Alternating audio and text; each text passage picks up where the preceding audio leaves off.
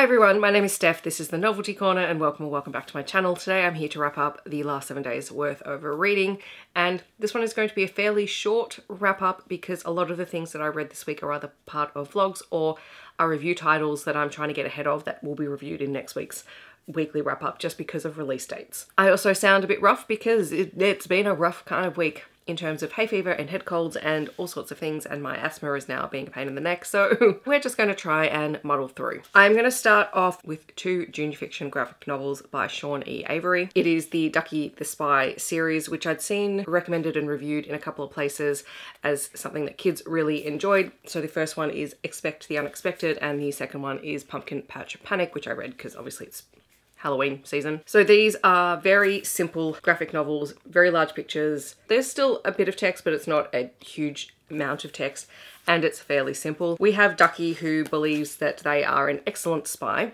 They find themselves in all kinds of mischief when they're asked to complete tasks and it turns out that maybe Ducky is not as accomplished a spy as one would think and that perhaps Ducky might actually be behind quite a few of the disasters that happen throughout the series. The first story is about the fact that there is a thief on the farm and Ducky is tasked with trying to track down who the thief is. The thief is stealing food from the farmer.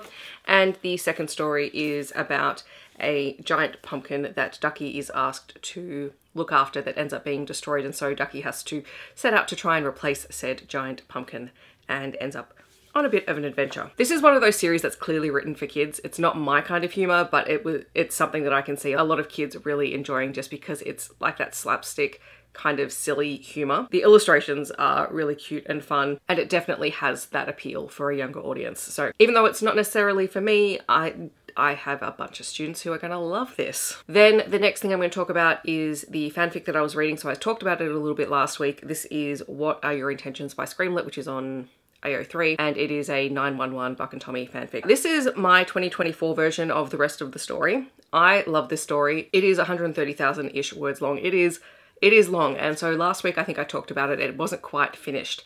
And over the weekend, and at the start of the week, the last few chapters were released.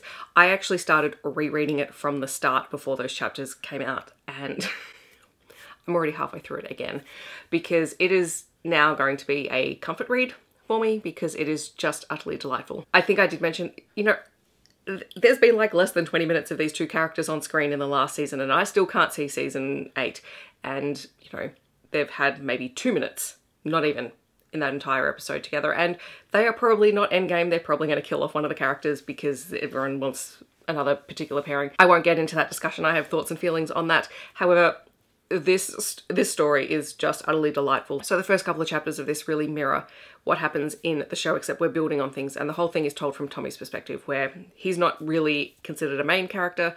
In the show, he's kind of been a supporting cast member, and this relationship is Buck's bisexual awakening kind of story in storyline in the show. And just the way that it has been written and the way that they just have captured the character voices so well. And not just the two characters of the story, but all of the surrounding characters, so the other characters for the show, but also these original characters that have been built in as sort of Tommy's friendship network and, and support base. And it's just their story as they move from being this very awkward initial relationship because Buck doesn't really know what he's doing into an actual relationship where they have to make decisions and both have to sort of grow into what it is that they want from their relationship was just delightful and it's a fanfic. So I haven't found anything to top or give me the same kind of feelings as the rest of the story did last year. This fanfic has come the absolute closest. So yes, I will be rereading it whenever I need a comfort read because I honestly adore it. I'll also probably need it just to console myself when the show uh, does something to break my heart because that's the way that it always goes. All right, and then the last two books that I'm going to mention are the second and third books in the Firebird Chronicles series by T.A. White. Heather got me onto this last week and I was able to pick up two more books in the series. These are quite long books. They're all over 400 pages long. So I do have to pick my moments when I can actually sit down and just read them because I want to read them from cover to cover because it's just so engrossing. Last week I spoke about them and I said they're basically Kate Daniels in space and that's exactly what it is, but it's kind of Kate Daniels mixed with Hidden Legacy in space because you have um, an alien race where there are various houses who have accumulated power and there is a lot of interplay between the, these houses, particularly in book two and three. So Kira is our main protagonist and she was rescued when she was quite young from a camp where she was experimented on. And so she has been raised amongst humans. She believes she was human, but just different. And then in book one, she found out really what her heritage was. And so she was taken back to the homeworld of her mother. And things did not quite go according to plan. She is former military, so she is very militarily minded. And she's always constantly thinking about the next step in any in any situation. She left the military after some traumatic moments and became a scavenger. But what we find out in book two and three is it's not as simple as that. And so we get a lot more of that backstory and why she chose the path that she chose. And in book two, because of what happened in book one, she's now in the safekeeping of her father's family. Both her parents were killed when she was quite young, that's why she was taken. And so she's starting to unravel sort of her personal history, the relationship between her parents, the relationship between her father and his house, and the politics involved. And along the way, she's also being trained in the way of her people. So while she may have been trained as in the human military, she doesn't really know how to use her actual abilities to the best extent and in fact some of those abilities are killing her.